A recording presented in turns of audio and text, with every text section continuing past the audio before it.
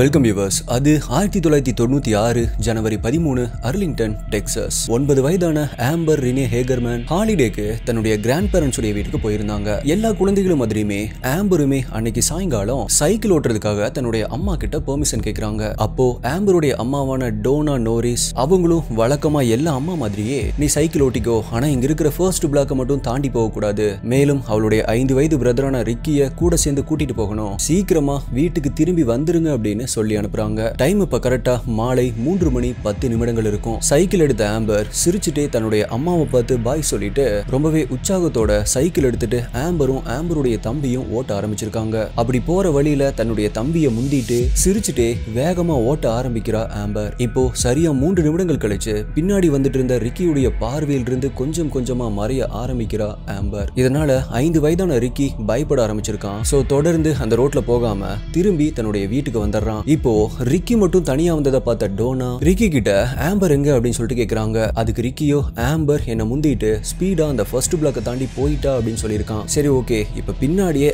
ஆம்பரும் வந்துருவா அப்படின்னு சொல்லி சில நிமிடங்கள் வெயிட் பண்ண ஆரம்பிக்கிறாங்க. ஆனா ஆம்பர் திரும்ப வரல. இப்ப பயந்து போன டோனா ஆம்பருடைய அப்பாவான ரிச்சர்ட் கூட சேர்ந்து ரிக்கி ஆம்பரை கடைசியா பார்த்ததா சொல்லப்படுற அந்த இடத்துல போய் தேட ஆரம்பிக்கிறாங்க. ஆனா ஆம்பர் அங்க இல்ல. சோ இந்நேரத்துக்கு ஆம்பரால செகண்ட் பிளாக்கை தாண்டி கூட போயிருக்க முடியாது அப்படின்னு அங்க போய் ஆம்பரை தேடி பார்க்குறாங்க பட் ஆம்பர் அங்கேயும் இல்ல. டோனா அழுதுகிட்டே ஆம்பர் நீ எங்க இருக்க? அப்படின்னு சொல்லிட்டு கத்த ஆரம்பிக்கிறாங்க. ஆனா பதிலுக்கு அவங்க எதிர்பார்த்த ஆம்பருடைய குரல் எந்த திசையிலிருந்துமே அவங்களுக்கு வரல. இப்ப இதை உடனடியா போலீஸ்க்கு இன்ஃபார்ம் பண்றாங்க. கொஞ்ச நேரத்திலேயே போலீஸும் அங்க வராங்க. தன்னுடைய காணாம போன பொண்ணை கண்டுபிடிக்கிறதுக்கு ஒரு தாய் இவ்வளோ ரிஸ்க் எடுப்பாங்களா அப்படின்னு இந்த உலகத்தையே யோசிக்க வச்ச அதே சமயம் ஒரு தாய் நினைச்சாங்க அப்படின்னா எதை வேணாலுமே சாதிக்க முடியும் அப்படின்னு டோனா டெக்சஸ்ல இதுக்காக ஒரு புது லா சிஸ்டத்தையே உருவாக்குனாங்க. இன்னைக்கு அந்த லா சிஸ்டம் யூஎஸ்ல மட்டும் இல்ல இருபது ஐரோப்பிய நாடுகள்லயும் நடைமுறையில் இருக்கு. சோ அந்த சிஸ்டம் என்ன? போலீஸ் ஆம்பரை கண்டுபிடிச்சாங்களா இல்லையா? அதுக்கப்புறமா என்ன நடந்துச்சு அப்படிங்கறத பத்தி தான் இன்னைக்கு வீடியோல நம்ம டீகோட் பண்ண போறோம். நீங்க பாத்துட்டு இருக்கிறது Saravanan டீகோட்ஸ்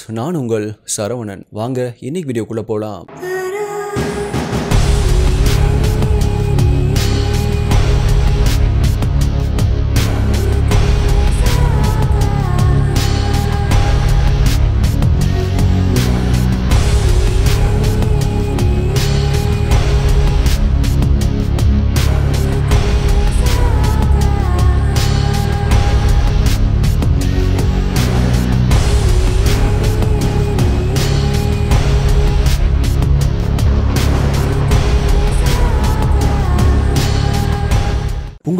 Crime thriller mystery strange solved unsolved cases இதெல்லாம் பிடிக்கும் அப்படின்னா நீங்க இதோடைய ஃபேன் அப்படின்னா இப்பவே நம்மளுடைய சேனலுக்கு சப்ஸ்கிரைப் பண்ணிக்கோங்க. ஏன் அப்படின்னா இந்த மாதிரியான வீடியோஸ் தான் ஒரு நாள் விட்டு ஒரு நாள் நம்மளுடைய சேனல்ல வரும். மேலும் இந்த வீடியோல நான் சொல்ற யூடியூப்ல காமிக்க முடியாத crime scene images crime scene videos எல்லாமே நம்மளுடைய டெலிகிராம் குரூப்ல தான் அப்டேட் பண்ணுவேன். யூடியூப்ல கரெக்டா நோட்டிபிகேஷன் வராதவங்களுக்குமே அங்க இன்ஸ்டன்டா அப்டேட் வந்துடும் நம்மளுடைய அஃபீஷியல் டெலிகிராம் குரூப்புடைய லிங்க் டிஸ்கிரிப்ஷன் பின்னாடி கமெண்ட்ல கொடுத்துருக்கேன். அதுல ஜாயின் பண்ணி செக் பண்ணி பாருங்க.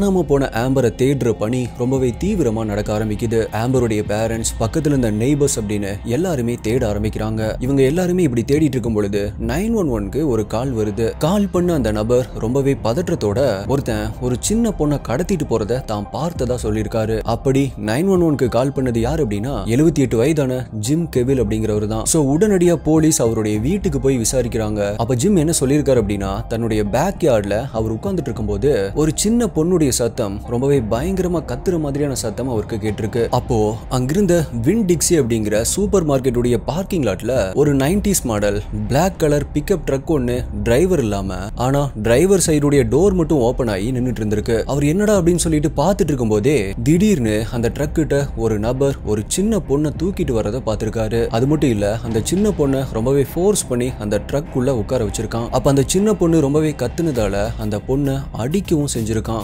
உடனடியாக ட்ரக்ல ஏறி வண்டியை ஸ்டார்ட் பண்ணி அந்த ஏர்லிங்டன் டவுனை தாண்டி இருக்கிற ஹைவே ரோட பார்த்து ரொம்பவே வேகமா அந்த வண்டியை ஓட்டிட்டு போனோம் அப்படின்னு இவர் சொல்லியிருக்காரு.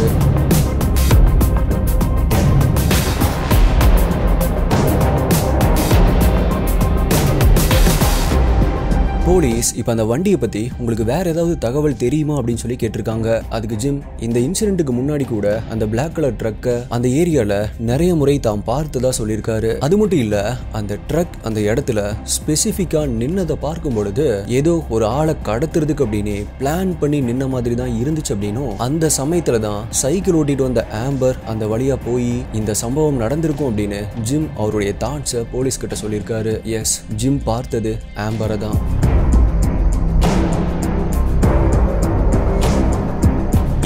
ஜனவரி பதினேழு ஆயிரத்தி தொள்ளாயிரத்தி தொண்ணூத்தி ஆறு. டைம் இப்ப கரெக்டா காலையில பதினோரு மணி நாற்பத்தி ஒரு நிமிடங்கள் இருக்கும். அதாவது ஆம்பர் காணாம போய் நான்கு நாட்கள் கழிச்சு ஸ்டீவர்ட் காக்கர் அப்படிங்கிறவர் தன்னுடைய டாக கூட்டிட்டு வாக்கிங் போயிருக்காரு. அப்ப அவருடைய நாய் எதையோ பார்த்து ரொம்பவே வினோதமா பிஹேவ் பண்ணிட்டு அங்க இருக்கிற ஒரு இடத்தை நோக்கி அவரை வேகமா இழுத்துட்டு போயிருக்கு. இவருமே டாகுடைய லீஸ பிடிச்சிட்டு பின்னாடியே வேகமா ஓடி இருக்காரு கடைசியில அந்த நாய் அங்க இருக்கிற ஒரு கால்வாய் கிட்ட போய் நிக்குது. மூச்சு வாங்கினபடியே ஸ்டீவர்ட் அங்க எட்டி பாக்குறாரு முதல்ல ஏதோ ஒண்ணு வெள்ளை கலர்ல தெரிஞ்சிருக்கு. அதுக்கப்புறமா மறுபடியுமே அங்கிருந்த ஃபென்ஸை தாண்டி உள்ள போய் பாக்குறாரு. அப்போ அவர் அங்க பார்த்தது ஒரு குழந்தையுடைய இறந்த உடல். ஷாக்கான அவரு உடனடியா இத போலீஸ்ல இன்ஃபார்ம் பண்றாரு.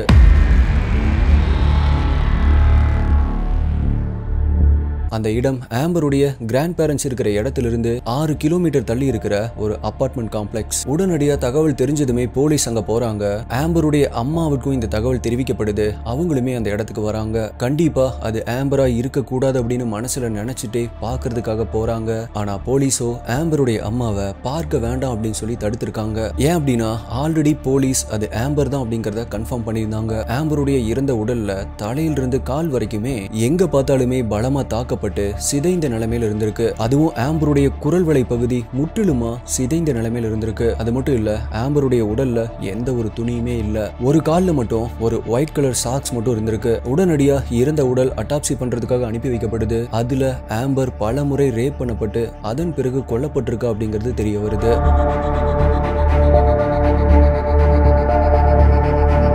ஸோ இப்படி ஒரு கண்டிஷனில் இருக்கிற அவங்களுடைய பொண்ணுடைய உடம்பை பார்க்க வேண்டாம் அப்படின்னு சொல்லி தான் போலீஸ் தடுத்திருக்காங்க. ஆனாலுமே டோனா அதை எல்லாமே காதில் வாங்கிக்காம அவங்களுடைய பொண்ணுடைய இறந்த உடலுக்கு பக்கத்தில் போய் பார்த்ததுமே அங்கேயே இடிஞ்சு போய் உட்கார்ந்து கதறி அழுக ஆரம்பிச்சிருக்காங்க. ஒரு தாய் தன்னுடைய குழந்தைய எப்படி எடுத்து கட்டி அணைச்சுக்குவாங்களோ அப்படி எடுத்து கட்டி அணைச்சுக்கணும் அப்படின்னு அவங்களுக்கு தோணியிருக்கு. ஆனா இப்ப அவங்களால அந்த இறந்த உடலை எடுத்து கட்டி அணைக்க கூட முடியாது. ஏன்னா அந்த அளவுக்கு அந்த இறந்த உடல் செதஞ்சு போயிருந்துச்சு. இன்னைக்கு இல்ல இனி என்னைக்குமே இது நடக்க போறதில்ல அப்படிங்கிற அந்த கசப்பான உண்மை அந்த ரியாலிட்டி இன்னுமே அவங்கள நிலை குலைய வைக்குது. ஒரு ஒன்பது வயசு சின்ன பொண்ணுக்கு இப்படியெல்லாம் நடக்கணுமா? நடந்தது எல்லாமே ஒரு கனவா இருக்க கூடாதா அப்படின்னு ஆம்பருடைய ஃபேமிலி மட்டும் இல்ல அங்கிருந்த ஒட்டுமொத்த அர்லிங்டன் சிட்டி மக்கள் எல்லாருமே இந்த சம்பவத்தை நினைச்சு ரொம்பவே மனமுடைஞ்சு போறாங்க.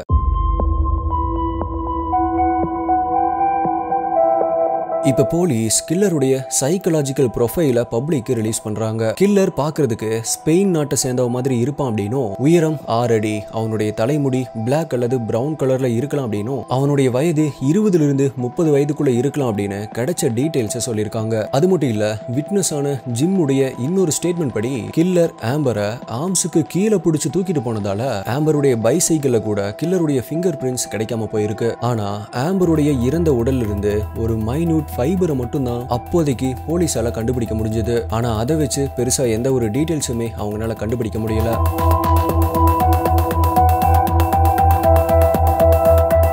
நண்பருடைய இறந்த உடல் கிடந்த அந்த இடத்துல வேலை பார்க்குற மெயின்டெனன்ஸ் ஒர்க்கர்ஸ் கிட்ட இதை பற்றி கேட்கும் பொழுது அவங்க என்ன சொல்லியிருக்காங்க அப்படின்னா அன்னைக்கு மார்னிங் அவங்க அந்த இடத்த கிராஸ் பண்ணி வரும் பொழுது அந்த இடத்துல எந்த ஒரு இறந்த உடலுமே இல்லை. மேபி அங்கே பக்கத்துல வேற எங்கேயோ அந்த இறந்த உடல் கிடந்திருக்கலாம். அன்னைக்கு பேஞ்ச மலையில் அடிச்சிட்டு வந்து அந்த கால்வாயில போட்டிருக்கலாம் அப்படின்னு அவங்க சொல்றாங்க. அப்படின்னா அந்த கில்லர் ஆம்பரை கடத்திட்டு போய் இரண்டு நாட்கள் வச்சு டார்ச்சர் பண்ணிட்டு அதுக்கப்புறமா தான் கொலை பண்ணியிருக்கணும் அப்படிங்கிற விஷயம் போலீஸ்க்கு தெரிய வருது.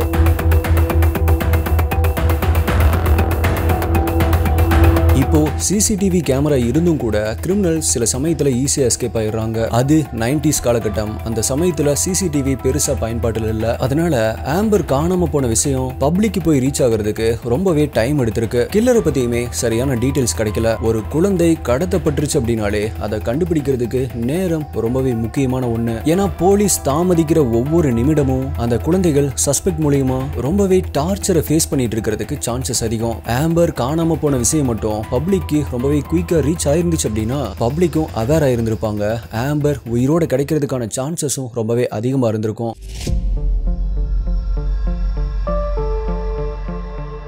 ஸோ ஆம்பர் காணாமல் போய் அந்த நான்கு நாட்கள் இடைவெளியில் ஆம்பருடைய அம்மா ஒரு தாயாக அனுபவிச்ச அந்த வழி அந்த வேதனை இனி எந்த ஒரு தாய்க்குமே வரக்கூடாது அப்படின்னு டோனா நினச்சாங்க. அந்த இடைப்பட்ட இரண்டு நாட்களில் தன்னுடைய பொண்ணு ஆம்பர் என்னென்ன டார்ச்சர்ஸை அனுபவிச்சிருப்பா என்னென்ன வேதனைகளை அனுபவிச்சிருப்பா அப்படின்னு நினச்சி துவண்டு போகிறாங்க ஏன்னா அவங்க கிட்ட இருந்து பறிக்கப்பட்டது அவங்களுடைய பொண்ணு மட்டும் இல்லை பறிக்கப்பட்டது அவங்களுடைய எதிர்கால கனவுகள். இன்னும் சொல்ல ஒரு பெஸ்ட் ஃப்ரெண்டை டோனா இழந்திருக்காங்க. ஆம்பருக்கும் டோனாவுக்கும் இருந்த அந்த மதர் அண்ட் டாட்டர் ரிலேஷன்ஷிப் அந்த பாண்டிங் எவ்வளோ டீப் ஆனது அப்படின்னு ஆம்பர் இறப்பதற்கு முன்னாடி அவங்க எப்படி இருந்தாங்க அப்படிங்கிற ஒரு வீடியோ ரெக்கார்ட் இருக்கு. அதை பாருங்கள்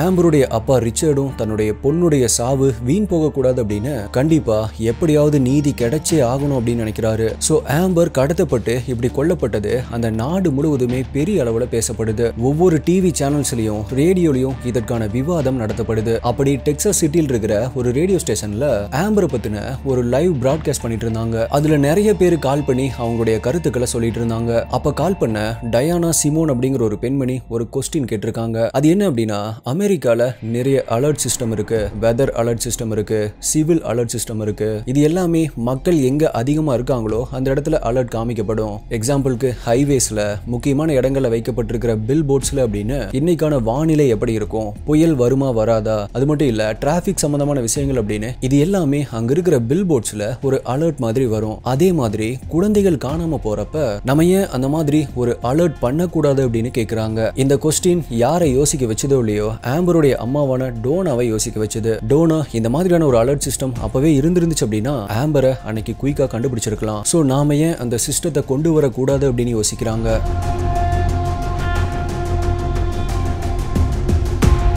தன்னுடைய பொண்ணை தான் டைமுக்கு காப்பாற்ற முடியல. ஆனா நம்ம முயற்சி எடுத்தோம் அப்படின்னா இதன் மூலயமா நாளைக்கு நிறைய குழந்தைகளுடைய உயிரை காப்பாற்ற முடியும் அப்படின்னு நினைச்சாங்க. அந்த ஐடியாவை இம்ப்ளிமெண்ட் பண்ண அதுக்காக அவங்க பல ஆயிரக்கணக்கான பொதுமக்கள் கிட்ட கையெழுத்து வாங்குறாங்க. சோ இத்தனை பொதுமக்களுடைய சப்போர்ட்டோட கவர்மெண்ட்டுக்கு ஒரு கோரிக்கை வைக்கிறாங்க. கவர்மெண்ட்டுக்குமே இந்த ஐடியா ஒரு வரவேற்கத்தக்க ஒன்றா இருந்ததால அவங்களுடைய கோரிக்கையை ஏத்துக்கிட்டு இரண்டாயிரத்தி மூன்றுல அப்போ பிரசிடெண்டாக இருந்த ஜார்ஜ் டபிள்யூ புஷ் இந்த சிஸ்டத்துக்கு அப்ரூவ் பண்ணி சைன் பண்றாரு. அப்போ இந்த வருஷத்துக்கு என்ன பெயர் வைக்கலாம் அப்படின்னு சொல்லி யோசிக்கும் போது இந்த சிஸ்டம் உருவாக காரணமா இருந்த ஆம்பருடைய பெயரையே வைக்கலாம் அப்படின்னு இந்த சிஸ்டத்துக்கு ஆம்பர் அலர்ட் அப்படின்னு சொல்லி பெயர் வைக்கப்படுது.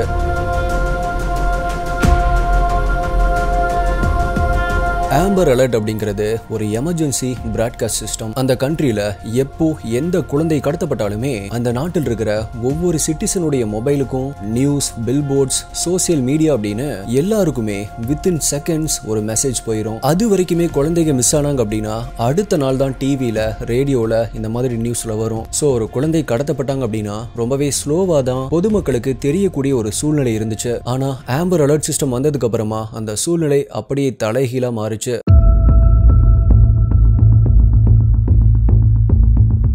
ஒரு குழந்தை கடத்தப்பட்ட உடனே அந்த ஆம்பர் அலர்ட் சிஸ்டமை இஷ்யூ பண்ணுவாங்களா அப்படின்னா அப்படி கிடையாது. ஆம்பர் அலர்ட் சிஸ்டம் கொடுக்கறதுக்கு அப்படின்னு சில ப்ராப்பரான ரூல்ஸ் அண்ட் ரெகுலேஷன்ஸ் இருக்கு. அது என்ன மாதிரியான ரூல்ஸ் அப்படின்னா முதல்ல நிஜமாவே குழந்தை கடத்தப்பட்டுருச்சா அப்படிங்கிறதுக்கு ஒரு சாலிடான ப்ரூஃப் வேணும். அப்படி ப்ரூஃப் இருந்துச்சு அப்படின்னா அடுத்ததா காணாம போன குழந்தையுடைய சிச்சுவேஷன் எப்படி இருக்கு? அது சேஃபா இருக்கா? இல்ல கடத்தப்பட்டவனால அட்டாக் செய்யப்படுற ஒரு சூழ்நிலையில இருக்கா அப்படிங்கறத தெரிஞ்சுக்குவாங்க. ஒருவேளை நிலைமை ரொம்பவே மோசமா இருந்துச்சு அப்படின்னா உடனே போலீஸ் யோசிக்காம அந்த நாட்டில் இருக்கிற ஆம்பர் அலர்ட் ஏஜென்சிக்கு அதை தெரியப்படுத்தி ஆகணும்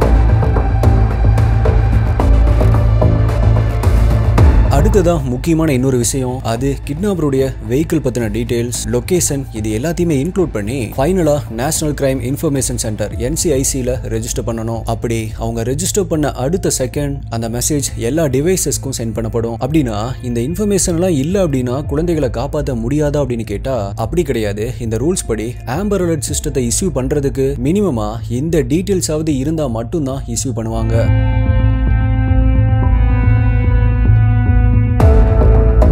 அம்பர் அலர்ட்ல பப்ளிக் உடைய பங்கு இருக்கிறதால போலீஸ் தங்களால முடிஞ்ச அளவுக்கு குறுகிய நேரத்துல கிடைச்ச இந்த டீடைல்ஸ் எல்லாமே ஜெனியூனா இல்ல ஃபேக்கா அப்படின்னு சொல்லி செக் பண்ணியே ஆகணும். அதுல ஒரு சின்ன தப்பு நடந்தாலுமே அது போத் போலீஸ் மற்றும் பப்ளிக்கு டைம் வேஸ்ட் தான். அது மட்டும் இல்ல அப்படி நடந்துச்சு அப்படின்னா மக்களுக்கு ஆம்பர் அலர்ட் சிஸ்டத்து மேல இருக்கிற நம்பிக்கையே போயிடும் ஸோ அதனால ஆம்பர் அலர்ட் இஸ்யூ பண்றதுக்கு முன்னாடி போலீஸ் ரொம்பவே கேர்ஃபுல்லா தான் இருப்பாங்க. ஸோ இதுதான் ஆம்பர் அலர்ட் இஸ்யூ பண்றதுக்கான basic rules and procedures Amber alert system வந்ததுக்கு அப்புறமா குழந்தைகளை கடத்துறது கம்மியாயிருக்கா அப்படின்னு கேட்டு கண்டிப்பா கம்மியாயிருக்கு. குழந்தைகளை கடத்த நினைக்கிற ஒவ்வொரு கிரிமினல்ஸுக்கும் ஆம்பர் அலர்ட் ஒரு வேர்ஸ்ட் நைட் மேரா இருக்குது அப்படின்னே சொல்லலாம்.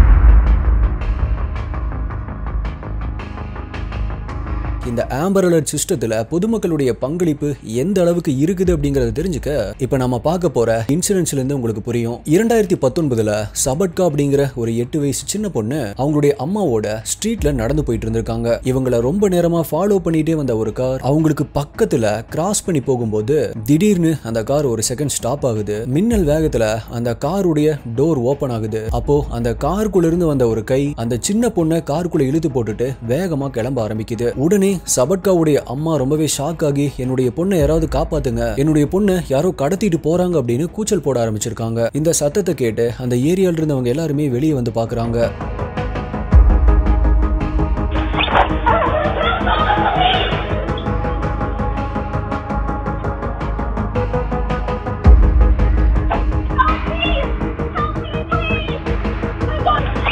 இந்த நிகழ்வு அந்த ஸ்ட்ரீட்ல இருந்த ஒரு வீட்டுடைய டோர் கேமராலையும் ரெக்கார்ட் ஆயிருக்கு. அதன் மூலமா கடத்திட்டு போன அந்த காருடைய எக்ஸாக்ட் டீடைல்ஸ் மேலும் அந்த கார் எந்த வழியா போச்சு அப்படிங்கிற எல்லா டீடைல்ஸுமே போலீஸ்க்கு கிடைக்குது. அடுத்த நொடியே காரை பத்தின டிஸ்கிரிப்ஷன்ஸோட அது போன டிரெக்ஷன்ஸோட ஆம்பர் அலர்ட் இஷ்யூ பண்றாங்க. உடனடியா அந்த சிட்டி மக்கள் எல்லாமே அலர்ட் ஆகி அவேர் ஆகி அவங்களால அந்த குறிப்பிட்ட காரை ஃபைண்ட் அவுட் பண்ண முடியுதா அப்படின்னு பாக்குறாங்க. அதுல ஜெஃப் அப்படின்னு ஒரு நபர் சஸ்பெக்டுடைய கார் இங்க எங்கேயாவது இருக்கா அப்படின்னு தன்னுடைய காரை எடுத்துட்டு போய் சர்ச் பண்ணி பாக்குறாரு சொல்ல போனா கடத்தப்பட்ட அந்த பொண்ணுக்கும் இவருக்கும் எந்த ஒரு ரிலேஷன்ஷிப்புமே கிடையாது. அப்படி அவர் தேடிட்டு இருக்கும் பொழுது அன்னைக்கு நைட்டு அந்த கார் ஒரு ஹோட்டலுக்கு முன்னாடி நிக்கிறத பார்த்து போலீஸ்க்கு இன்ஃபார்ம் பண்றாரு.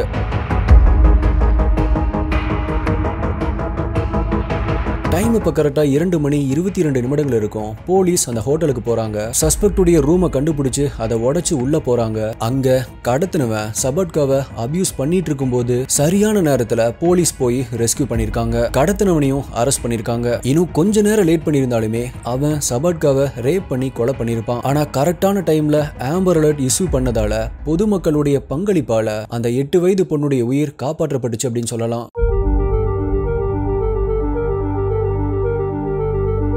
இந்த மாதிரி ஆம்பர் அலர்ட் மூலயமா சபட்கா மாதிரி இப்போ வரைக்குமே கிட்டத்தட்ட ஆயிரத்தி இருநூறு குழந்தைகளுக்கு மேல காப்பாற்றப்பட்டிருக்காங்க. அதுல கிட்டத்தட்ட நூத்தி முப்பத்தி ஒரு குழந்தைகள் வயர்லெஸ் எமர்ஜென்சி அலர்ட் அப்படின்னு அழைக்கப்படுற பிளாஷ் மெசேஜ் அலர்ட் மூலமா மட்டுமே காப்பாற்றப்பட்டிருக்காங்க. அமெரிக்கால மட்டும் மொத்தம் எண்பத்தி இரண்டு ஆம்பர் அலர்ட் பிளான்ஸ் இருக்கு. இந்த ஆம்பர் அலர்ட் சிஸ்டம் யூஎஸ்ல நல்ல வரவேற்பை பெற்றதால பிரான்ஸ் ஜெர்மனி லண்டன் இத்தாலி இந்த மாதிரி முப்பத்தி ஒரு நாடுகள்ல அவங்களுமே இதை யூஸ் பண்ண ஆரம்பிச்சாங்க. ஒவ்வொரு முறையுமே ஒரு குழந்தை ஆம்பர் அலர்ட் மூலமா காப்பாற்றப்பட்டு அந்த குழந்தை அவங்க பேரண்ட்ஸ் கிட்ட ஒப்படைக்கப்படும் பொழுது டோனா இது எல்லாத்துக்குமே காரணமான தன்னுடைய பொண்ணு ஆம்பரை நினைச்சு பெருமைப்பட்டுக்குவாங்க. ஆனா அதுக்காக அவங்க கொடுத்த விலை அப்படிங்கிறது ரொம்பவே அதிகம். இப்போ வரைக்குமே ஆம்பரை கடத்தி கொலை பண்ணது யாரு அப்படிங்கறத கண்டுபிடிக்க முடியல. போலீஸ்க்கு ஆம்பருடைய கேஸ்ல மட்டுமே கிடைச்ச லீட்ஸ் எட்டாயிரத்துக்கும் மேல இருக்கு. ஆம்பருடைய கேஸ்ல இன்வால்வ் ஆன பல போலீஸ் ஆபீசர்ஸ் ரிட்டையர்ட் ஆயிட்டாங்க. நிறைய பேர் இறந்து கூட போயிட்டாங்க. ஆனா எப்பவுமே ஆம்பருடைய கேஸுக்கு அப்படின்னு ஒரு தனி போலீஸ் ஆஃபீஸர் இன்சார்ஜில் தான் இருப்பாங்க அப்படின்னு அஃபீஷியல் சொல்லியிருக்காங்க. அது மட்டும் இல்ல இப்ப ரீசெண்டா ஆம்பருடைய இறந்த உடல்ல இருந்து ஒரு டிஎன்ஏவை கண்டுபிடிச்சிருக்காங்க அப்படின்னும் ஃபியூச்சர்ல வரப்போற அட்வான்ஸ்டு டெக்னாலஜியை வச்சு கில்லரை கண்டிப்பா கண்டுபிடிக்க முடியும் அப்படின்னு சொல்லியிருக்காங்க.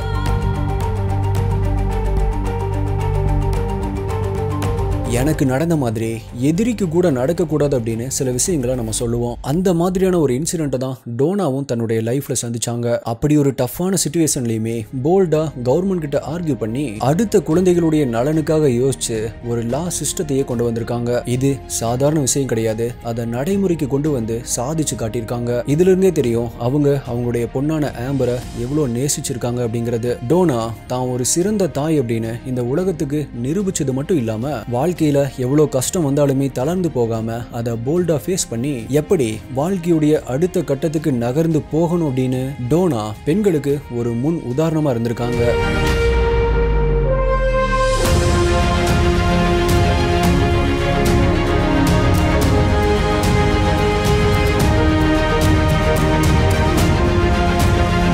ஒரு கடையில ஷாப்பிங் பண்ணிட்டு இருக்கும்போது ஒரு குழந்தை தொலைஞ்சு போகுது. அந்த தொலைஞ்சு போன குழந்தைய பத்தி போலீஸ்க்கு இன்ஃபார்ம் பண்றதுக்கு முன்னாடியே அங்க ஷாப்பிங் பண்ணிட்டு இருந்த கிரௌட்ல ஒருத்தருக்கு இந்த குழந்தை தொலைஞ்சு போன விஷயம் தெரிஞ்சதால காணாம போன குழந்தைய சீக்கிரமா கண்டுபிடிச்சிருக்காங்க. இந்த ஆம்பர் அலர்ட் அப்படிங்கிற ஒரு சிஸ்டத்தை இந்த ஐடியாவை முதன் முதலா ரேடியோல ஷேர் பண்ண டயானா அப்படிங்கிற அந்த பெண்மணிக்கு அந்த ஐடியா கிடைச்ச இடமே அந்த ஷாப்பிங் மால்ல இந்த விஷயத்தை நோட் பண்ணதுக்கு அப்புறமா தான். ரொம்ப சரியான நேரத்துல இந்த ஐடியாவை ஷேர் பண்ண இவங்களுமே பாராட்டுக்கு உரியவங்க தான் அதனால தான் யூஎஸ் பிரசிடென்டான ஜார்ஜ் புஷ் இந்த லாவை சைன் பண்ணும் பொழுது இவங்களை பாராட்டுற விதமா அவங்களையுமே இன்வைட் பண்ணியிருந்தாரு. இப்ப டோனாவுடைய கரண்ட் சுச்சுவேஷன் என்ன அப்படின்னா அவங்க தான் ஆம்பர் சைல்டு சேஃப்டி சிஸ்டம் கம்பெனியுடைய வைஸ் பிரசிடென்ட் ஆம்பருடைய அப்பா ரிச்சர்ட் ஆம்பருடைய மறைவுக்கு பின்னாடி குடிப்பழக்கத்திற்கு அடிமையாகி இரண்டாயிரத்தி ஏழுல இறந்து போறாரு. ஆம்பர் இறந்து இருபத்தி ஏழு வருடங்களுக்கு மேல ஆயிருச்சு. ஆனாலுமே டோனா அந்த கில்லரை தேடுற முயற்சியை இன்னுமே கைவிடல. அவங்க கொண்டு வந்த இந்த ஆம்பர் அலர்ட் சிஸ்டம் மக்கள் கிட்ட ரொம்பவே வரவேற்பை பெற்றது மட்டும் இல்லாம இது வரைக்குமே ninety nine percentage Amber alert cases வெற்றிகரமா சால்வ் செய்யப்பட்டிருக்கு ஸோ எஸ்டிஐ எஸ்டி இன்வெஸ்டிகேட்டர்ஸ் நீங்க இந்த ஆம்பர் அலர்ட் சிஸ்டத்தை பத்தி என்ன நினைக்கிறீங்க? இந்த ஆம்பர் அலர்ட் சிஸ்டத்துக்கு பின்னாடி இப்படி ஒரு ஸ்டோரி இருக்கும் அப்படின்னு நீங்க நினைச்சீங்களா? மேலும் இந்தியால இதை நடைமுறைக்கு கொண்டு வந்தா இங்கேயுமே பல குழந்தைகளை நம்மளால காப்பாற்ற முடியும். இதை பத்தின உங்களுடைய கருத்து என்ன அப்படிங்கறத மறக்காம கீழே கமெண்ட் பண்ணுங்க. உங்களுடைய பெஸ்டான கமெண்ட் அடுத்த வீடியோல வரும். வேற ஒரு வீடியோல மீட் பண்றேன். நன்றி. பாய்